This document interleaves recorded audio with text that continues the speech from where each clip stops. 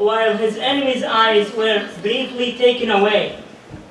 He took a handful of dust and started pouring it on their heads while reciting the ayah وجعلنا من بين أيديهم سدا ومن خلفهم سدا فأغشيناهم فهم لا يبصرون and we have put before them a barrier and behind them a barrier and covered them so they do not see. Then the Prophet Muhammad, peace be upon him, went to Abu Bakr, may Allah be pleased with him, in his house, and both of them walked out by night until they reached the cave of Thawr and took refuge in it. In the meantime, Quraysh had left no stone unturned to find him until they reached the cave gate and stood by there. Then Abu Bakr, may Allah be pleased with him, turned to the Prophet, peace be upon him, and said, O Allah's Messenger, if one amongst them were to see at his, at his feet, he would have surely seen us.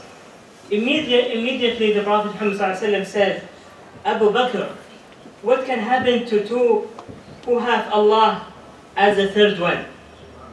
يا أبا بكر ما ظنك باثنين الله ثالثهما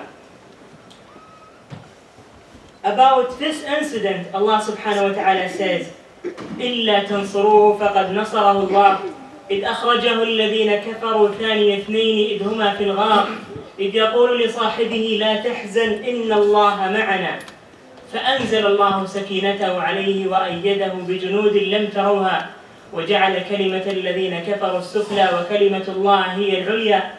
والله عزيز حكيم If you do not aid the Prophet Muhammad وسلم, Allah has already aided him when those who disbelieved had driven him out of Mecca as one of two when they were in the cave and he said to his companion do not grieve indeed Allah is with us and Allah sent down his sakina upon him and supported him with angels. You did not see and made the word of those who disbelieved the lowest while the word of Allah that is the highest and Allah exalted in might and wise. The Prophet peace be upon him and Abu Bakr remained at the cave for three days and nights during which Asma, the daughter of Abu Bakr, may Allah be pleased with her, used to bring the food and water, whereas Abdullah ibn Abi Bakr reports, report news to them. For their journey, they hired Abdullah ibn Urayqir to guide them. The Prophet migration was a critical event in the history of Muslims rather in the history of the whole humanity. It marked the beginning of the new era, a birth of the great nation. It was also an embodiment of the most noble values and meaningful lessons that characterize the best of creation. The prophetic migration is also a lesson for us in good planning and determination. It highlighted the role of the youth and women who proved they could contribute equally in advocating rights and values and beneficially inhabiting the earth. It's our duty, therefore, to explore further the sunnah of the Prophet, peace be upon him, and get invaluable lessons and sermons. Dear Muslims, other benefits of the migration raising a sense of harmony, self-sacrifice, and unity as the best shown in, in the good relationship between muhajirin, migrants, and ansar, supporters. They gave some of the finest examples of compassion and harmony, leading the establishment of a supportive community characterized by the most beautiful moral qualities. In their description, Allah subhanahu wa ta'ala says, للفقراء المهاجرين الذين أخرجوا من ديارهم وأموالهم يبتغون فضلا من الله ورضوانا وينصرون الله ورسوله أولئك هم الصادقون. والذين تبوأوا الدار والإيمان من قبلهم يحبون من هاجر إليهم ولا يجدون في صدورهم حاجة مما أوتوا ويؤثرون على أنفسهم ولو كان بهم خصاصة. ومن يوق شح نفسه فأولئك هم المفلحون. For the poor immigrants who were expelled from their homes and their properties, seeking reward from Allah and His approval, and supporting Allah and His Messenger, those are the truthful. And also for those who were settled in Al-Medina and adopted the faith before them, they love those who immigrated to them and find not anyone in their hearts of what the immigrants were giving, but give them preferences over themselves, even though they are in hardship. And whoever is protected from this, this sting, stinginess of his soul, it's those who will be the, the successful. The successful. May Allah bless you and me with the ability to implement the Holy Quran and the Sunnah of His Messenger Muhammad sallallahu alaihi wasallam. I pray to Allah subhanahu wa ta'ala to grant us to grant us forgiveness. He is subhanahu wa ta'ala the most forgiving and the most merciful.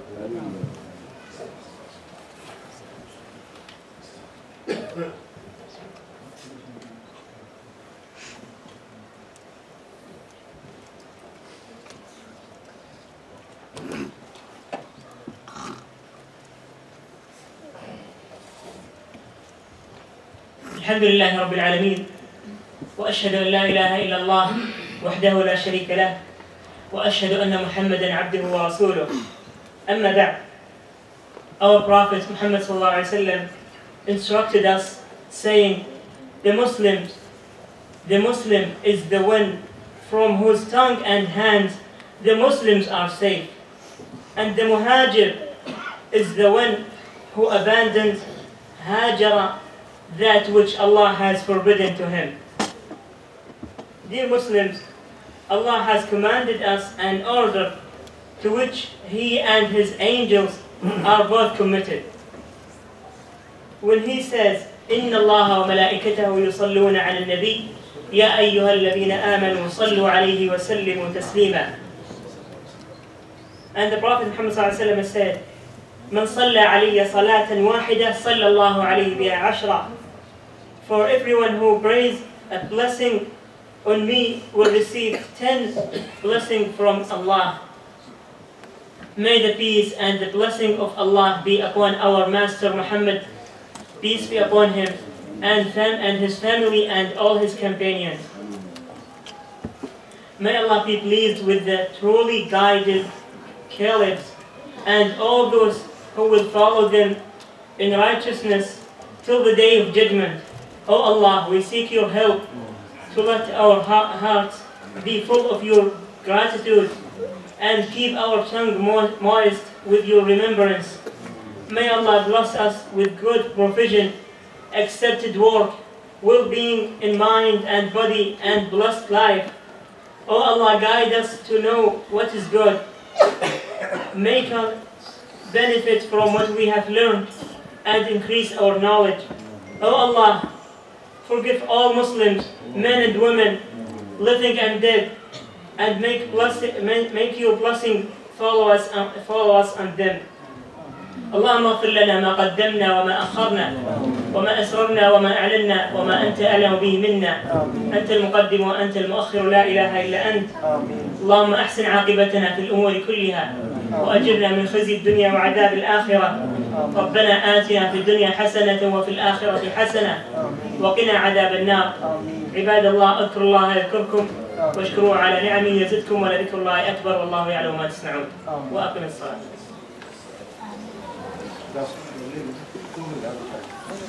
That's okay.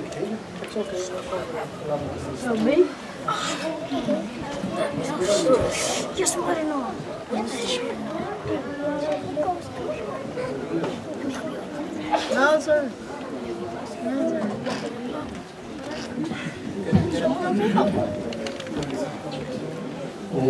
أكبر الله أكبر الله أكبر الله أكبر.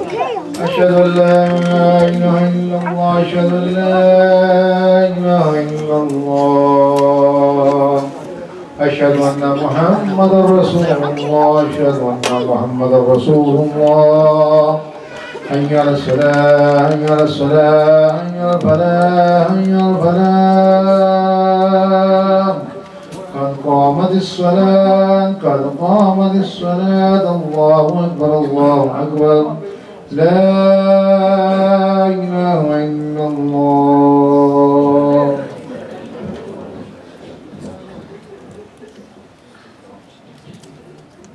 الله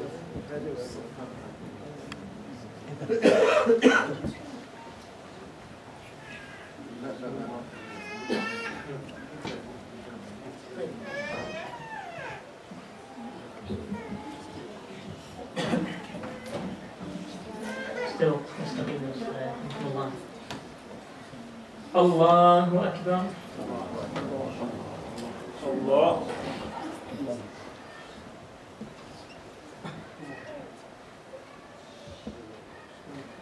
الحمد لله رب العالمين.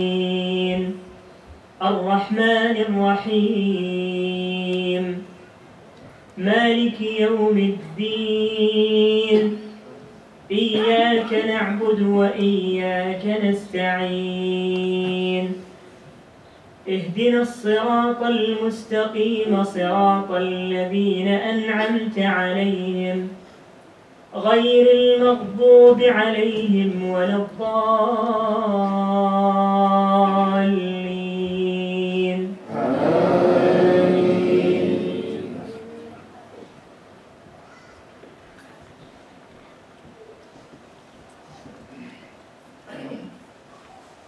سبح اسم ربك الأعلى الذي خلق فسوى والذي قدر فهدى والذي أخرج المرعى فجعله غثاء أحوى.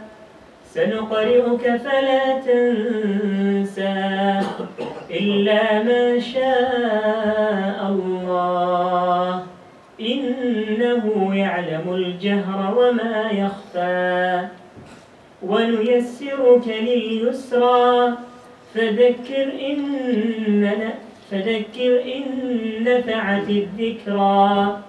سيذكر من يخشى ويتجنبها الأشقى. الذي يصلى النار الكبرى. ثم لا يموت فيها ولا يحيا. قد أفلح من تزكى وذكر اسم ربه فصلى.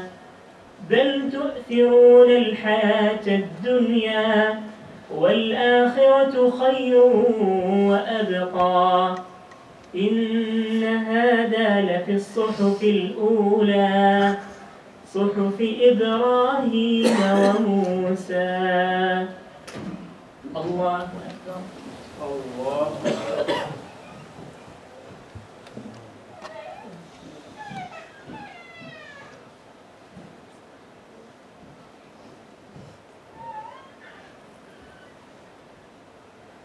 سمع الله لمن حمده.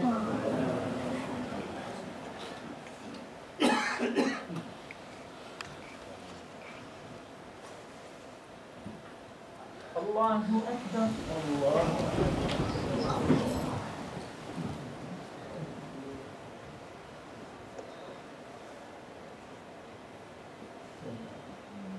الله أكبر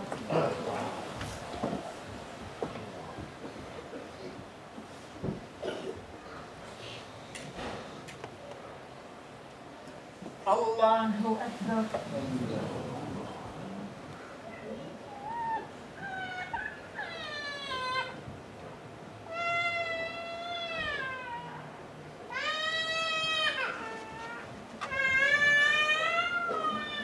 الله أكبر. الحمد لله رب العالمين. الرحمن الرحيم. مالك يوم الدين. إياك نعبد وإياك نستعين. اهدنا الصراط المستقيم. صراط الذين أنعمت عليهم غير المغضوب عليهم ولا الضالين.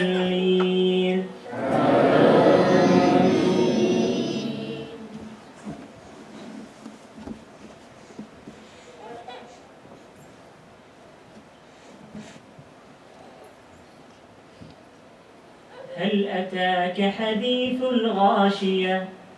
وجوه يومئذ خاشعة عاملة ناصبة تصلى نارا حامية تسقى من عين آنية ليس لهم طعام إلا من ضريع.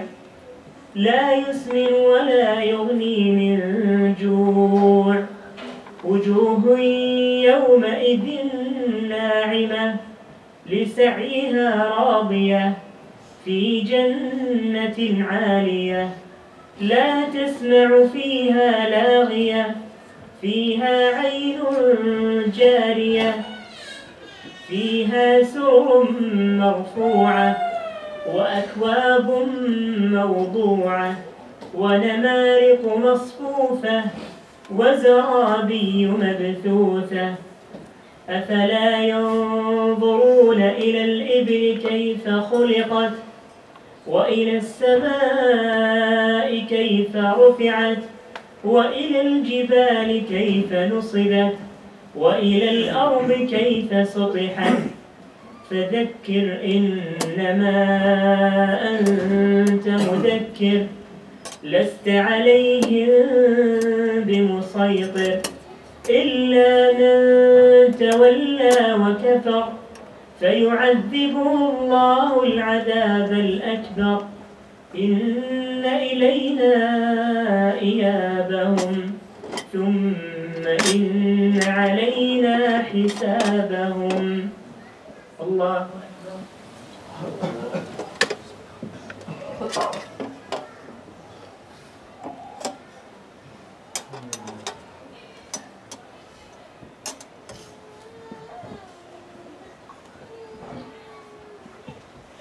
سمع الله لمن حمده.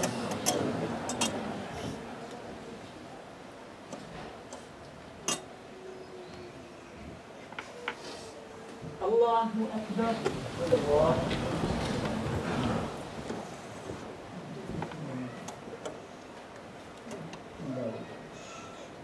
الله أكبر.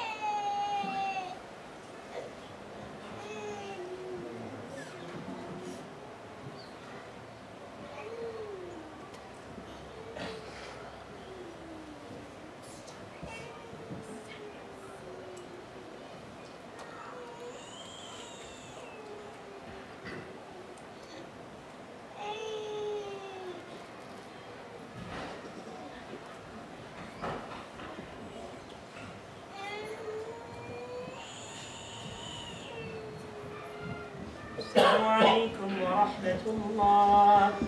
السلام عليكم ورحمة الله.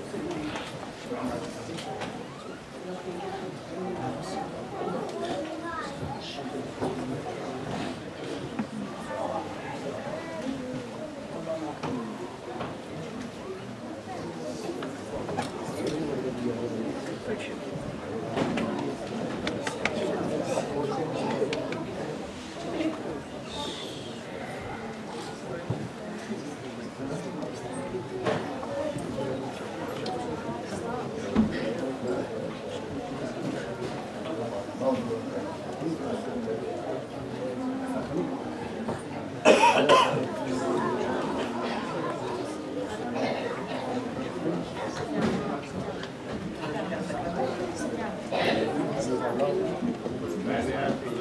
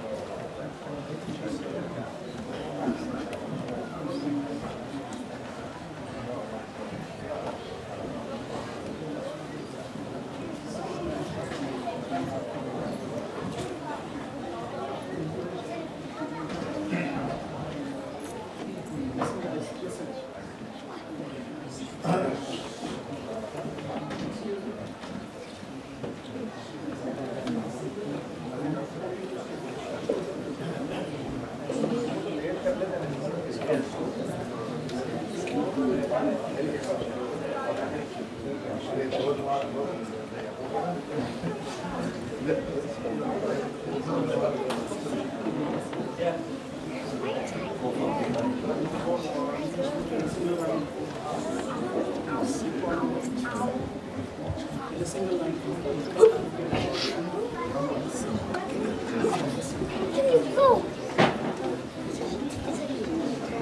said, I don't do it.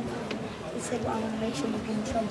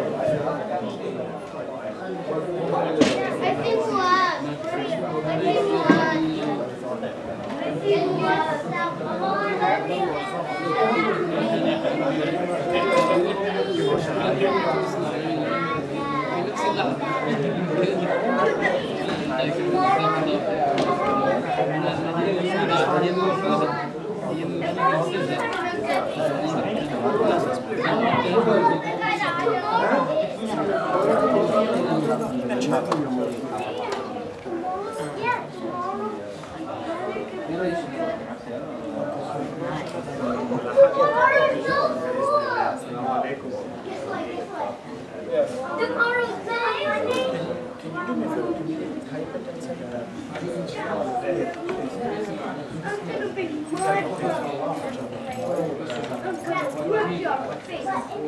Hey, look at this. We're going over the Christmas. Oh, sorry.